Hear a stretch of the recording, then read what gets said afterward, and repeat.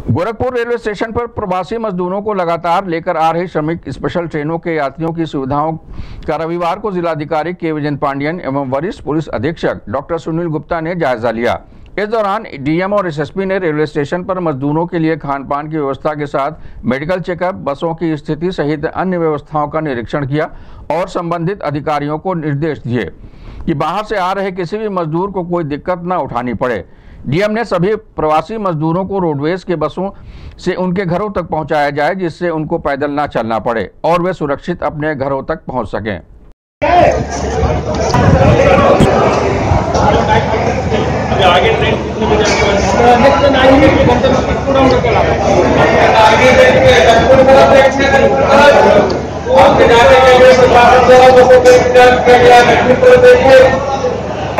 अपना आधार कार्ड अपने हाथ में ले लें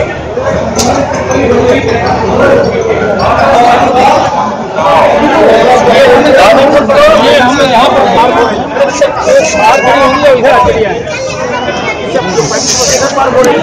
हम यहाँ पर खड़ी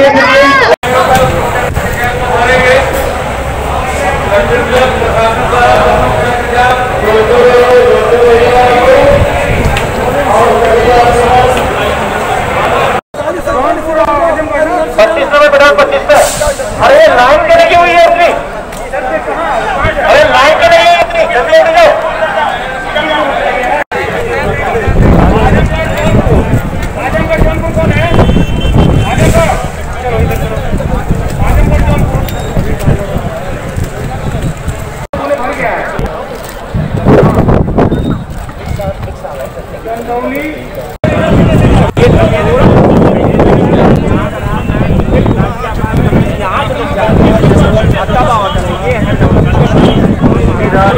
Gracias.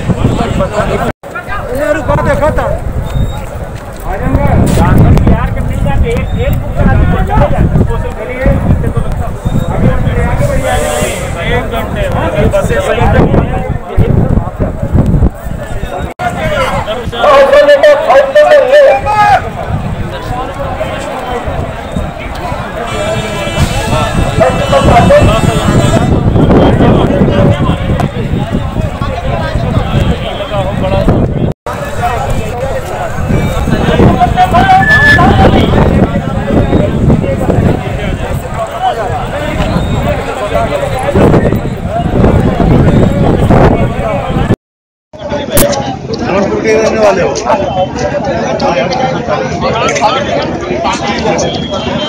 देखो बहुत